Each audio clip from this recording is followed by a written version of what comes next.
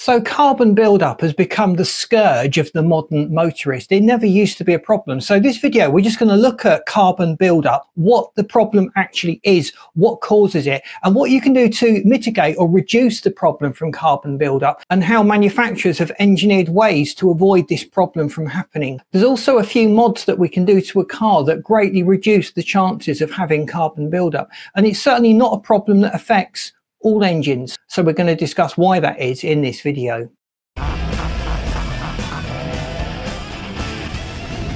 So the biggest cause of a loss of performance in a car engine is nearly always down to carbon buildup. So what is carbon buildup? Well, we're talking about carbon deposits forming around the intake and around the valves going into the engine. In really bad cases, you can lose about 50 to 60% of the airways just with carbon. That is substantially strangling your engine and it's going to have a detrimental effect on performance. But the question is, how does it get there? What are the mechanisms involved in depositing depositing all of this carbon on the intake and the valves. And when it happens, what can you do to clean off the carbon that's built up to restore that lost performance? Many years ago, cars used to squirt the fuel in along with the air that comes into the engine. So we would call that port injection. Your typical gasoline engine had the injector upstream from the cylinder head where the air coming in would pick up the fuel and it would go into the cylinder which would then be compressed and the combustion process would take place. In modern direct injection engines that no longer happens. The fuel injector has moved to the actual cylinder itself. The fuel is injected directly into the cylinder. So it's no longer washing by the valves on the intake. And that really is the primary cause of the problem of carbon buildup. And that's why we never used to have that problem on older engines that used port injection. Many years ago, we just used to talk about a decoke. The carbon that had built up inside the engine was removed. There was a, a number of processes you could go through or a number of different fuel additives that would help to reduce this carbon carbon that had built up inside the engine. But nowadays, carbon buildup is outside the engine on that intake and the valves, and that's where it's causing major problems for the modern motorist. So, what are the causes? Is it direct injection? Well, direct injection isn't causing the carbon to build up, it's just stopping the carbon buildup from being cleaned off. You see, fuel is a solvent. Gasoline is particularly good at breaking up the carbon deposits that form on the intake and the valves. So, without that cleaning motion, the carbon is just going to get more and more impacted and embedded and become a big problem. But that raises the question, where does this carbon come from? Surely on the intake, you're just sucking in air from outside the engine, which shouldn't have any carbon in it whatsoever. And the combustion process is taking place in the engine and the carbon is going out of the exhaust. So that's a logical question. But the problem we have is that manufacturers have to meet emissions standards, emissions regulations. We've all got to do our little bit to save the planet. The genius ideas that manufacturers have come up with to achieve this is an exhaust gas recirculation system where some of the exhaust gases are recirculated into the intake. So that reduces the emissions. It's only active at certain times when you're driving the engine. So don't worry too much about performance problems. When you're using low RPMs, some some of those exhaust gases are flowing back into the engine. So the exhaust itself will typically contain particles of soot. But that's not the major problem either. We also have a positive crankcase ventilation system. So inside the engine, you want to maintain a constant pressure and avoid the pressure from spiking too high. So the PCV or the positive crankcase vent pushes some of this excess pressure out of the engine and it's considered bad to just dump that into the environment. So again, that goes into the intake. Think about what that air it's dumping actually contains. It's going to have that mist of oil vapors, the moistures from the combustion process, and it's going to have that sort of wet, greasy substances floating in it. And that really is the main cause of your carbon buildup. So that's creating a nice sticky environment on the intake and the valves for the carbon in the exhaust to embed itself in and start to harden those two systems work really in tandem and are the main culprits for dumping carbon into the intake and causing the impaction problem. Now, I know what you're thinking. If the car is running efficiently, it shouldn't be producing carbon. It should be burning all of the fuel effectively. So carbon or soot is a byproduct of an incomplete burn. Now, whenever you have a combustion engine, it's not going to be perfect. There are going to be substances coming out that haven't properly combusted. But if you're using a low quality fuel, if you've neglected the maintenance of your car, or if you're just doing short trips where the engine is naturally in its inefficient warm up cycle, you're going to be accelerating this problem. So there are three things you can do as a motorist to reduce the risk. Make sure the car is running as efficiently as possible.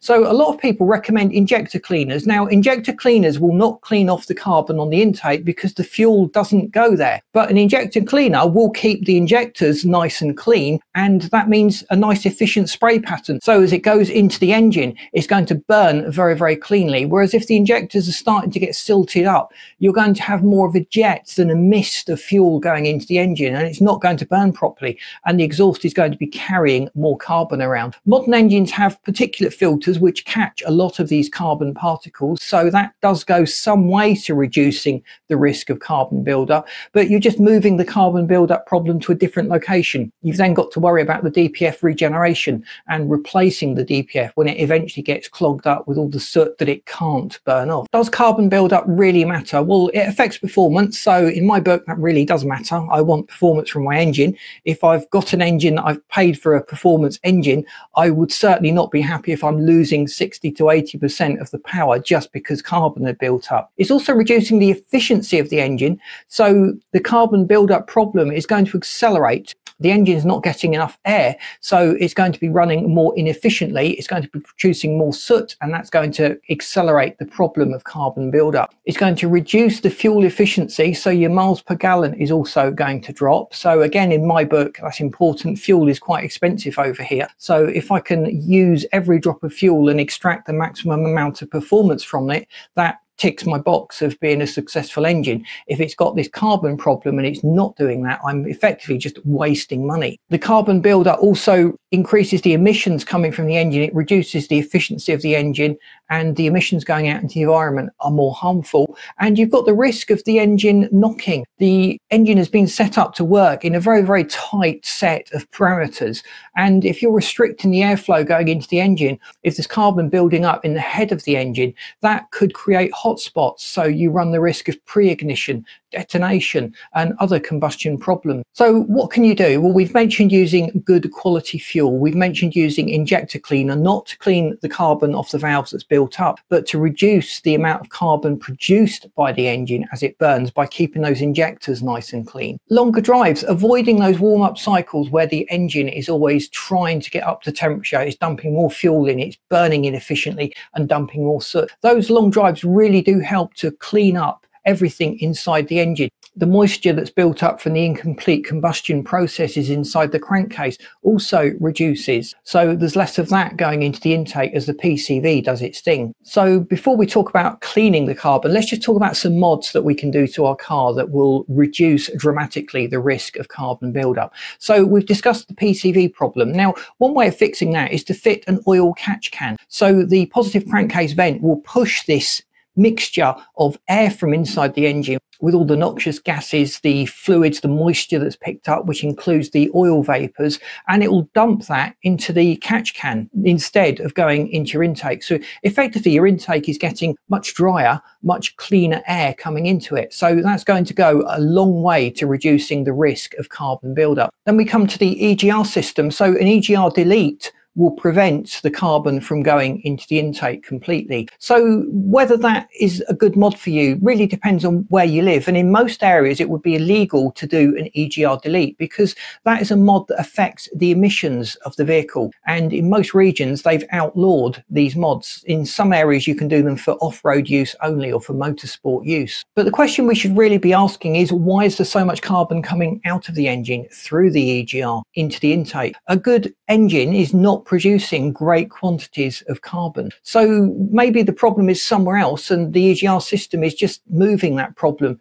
to the intake, depositing it on the valves. So make sure the engine is running efficiently, make sure it's properly tuned and set up, make sure that you're running that good quality fuel through it and you're doing those long journeys. So port injection is something that can be retrofitted to a lot of cars and people have done that to use different fuels like water methanol and ethanol fuel mixes where they just want more power and the stock injectors can't supply that. And interestingly, some manufacturers have done some of these things already. So the Volkswagen Group have incorporated a vapor control system on the PCV. They've also incorporated a port injection setup for the warm-up cycles of the engine, just to reduce the problem of carbon buildup. So some fuel is now going onto the, those valves. That's helping to clean off the carbon that has built up because fuel is, as we've said, a solvent and it contains additives designed to reduce these carbon buildup deposits. So cleaning carbon, you've got carbon buildup on your car. What can you actually do? Well, a lot of people talk about intake sprays. So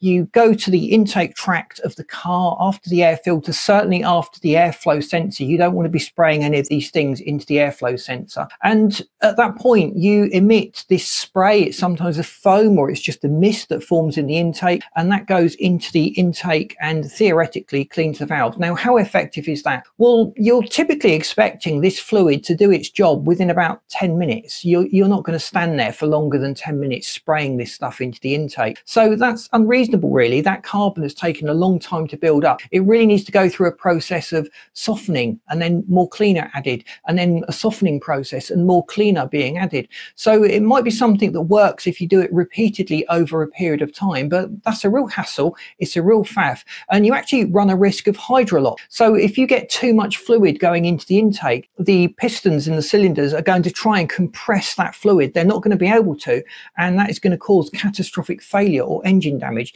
So that would happen if the RPMs drop too low and too much liquid goes into the engine. There are professional intake cleans though that use a very carefully computer controlled spray over a long period of time and there's different phases to the cleaning process. And I had that carried out on a TDI engine. It was a two litre TDI. It was a pre-CR engine and it was very, very effective. It had only done about 80,000 miles if you were wondering, so it didn't have a massive carbon buildup problem. But even after that BG intake clean that I had done, and I've not been sponsored or paid to say that, I did see improved MPG and improved performance. So it certainly did something. I didn't at the time have a borescope, so I couldn't check out how clean everything was, but it had certainly improved things, and it only cost about 70 pounds. So I would say that was probably good value, and I wouldn't want to waste a whole afternoon trying to do it myself and running the risk that's associated with these spray cleaners. So one of the best and most effective ways is getting a walnut blast done where tiny little pieces of walnut shell are blasted onto the carbon. Now you need to always make sure when you're working on an engine that the valves are closed. You don't want these carbon particles or walnut particles going into the engine. Walnut particles are pretty good because they're not going to do much damage if they do get into the engine.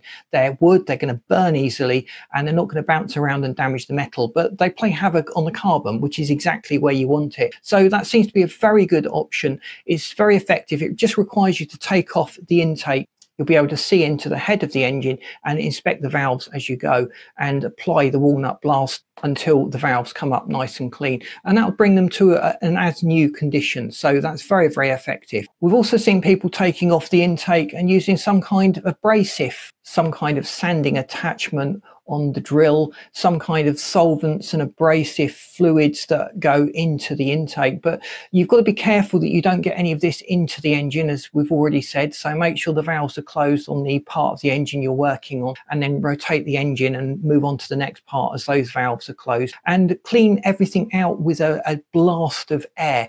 Just make sure there's nothing in there that's going to cause a problem when you put everything back together and you start to run the car. I have heard of sandblasting being particularly effective now, you should never do that with everything attached to the car. If you've got the head off and it's all stripped down, then sandblasting is a very effective way of cleaning it. But you really don't want sand going into the engine itself. Sand doesn't burn, it melts. It will cause all sorts of other problems inside the engine and potentially cause damage to the actual cylinders and the piston rings. So you want to be very, very careful if your local mechanic is suggesting that you get that sandblasted. So in this video, we've just discussed the problem of carbon buildup, some of the ways of mitigating it as a driver, some of the mods that you can do to avoid the problem in the first place, and also what you can do when you have a carbon buildup problem to deal with. Now, engines that are mostly affected by this tend to be larger capacity, low revving engines. So if you've got a small turbo engine with direct injection, you are less likely to have a problem. So you might go to 70, 80,000 before you need to think about cleaning the carbon off. And if you've got a large capacity four litre V8 engine and that uses direct injection, you may well have to do that after 20 or 30,000 miles. So there's a big difference between the engine, but generally give it a good thrash, use it while it's warmed up, avoid those short journeys and you should be absolutely fine. So please boot that like button if you found this video useful. I've lined this video up for you and if you haven't subscribed to the channel, please do so. We'd love you to stay tuned. Thanks for watching and I'll see you in this next video.